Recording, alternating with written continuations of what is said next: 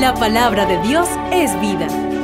Ilumina nuestro corazón y alimenta el alma. Radio Natividad presenta el Evangelio de hoy. El Evangelio de este día nos muestra el llamado de Jesús, el llamado vocacional al anuncio del reino del cielo. Es un llamado que hace Jesús a todos los cristianos, a los bautizados. Pero este Evangelio que hoy nos ofrece la liturgia de la palabra, de Lucas capítulo 9, versículos 57 al 62, nos muestra como dos partes de, este llamado de Jesús, tal vez desde la iniciativa personal de querer seguir a Jesús y por eso escuchamos este, esta petición a Jesús, te seguiré a donde quiera que vayas. Y un segundo modo, cuando Jesús llama a la persona, al discípulo y le dice, sígueme Debemos entender que el seguir a Jesús y tener el deseo de seguir a Jesús comporta también una madurez en nuestra vida humana, en nuestra vida cristiana. Y esto lo advierte Jesús en su respuesta a, a quien le hizo la petición, te seguiré a donde quiera que vayas.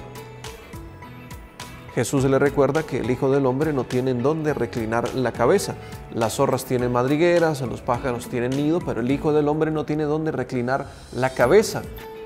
Esto para advertir que, que no es fácil este llamado que hace Jesús al anuncio del reino de Dios, que se presentarán las dificultades, de las adversidades, pero el discípulo ha de tener presente y entender claramente que el objetivo a pesar de las adversidades es el anuncio del reino de los cielos.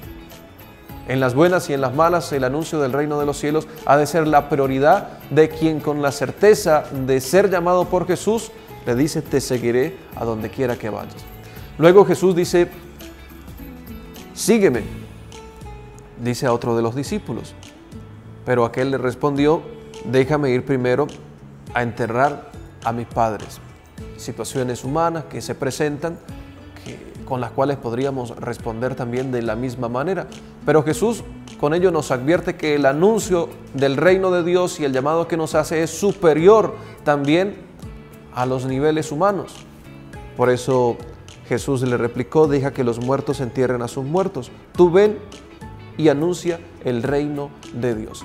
Con este Evangelio podemos entender que Jesús es el que llama, que necesitamos una madurez humana y cristiana para atender al llamado de Jesús y percibir que en uno de los momentos y en cada momento que Jesús nos llama es anunciar el reino de los cielos. Todos somos llamados por Jesús a anunciar el reino de Dios. Es necesario que abramos nuestro corazón a la luz del Espíritu Santo para que esa respuesta de cada persona, sea desde la vocación sacerdotal, desde la vocación de la vida matrimonial, o sea, desde la vocación de la vida cristiana, estemos dispuestos a anunciar siempre y en cada momento el reino de Dios. Que Dios les bendiga en el nombre del Padre y del Hijo y del Espíritu Santo. Amén.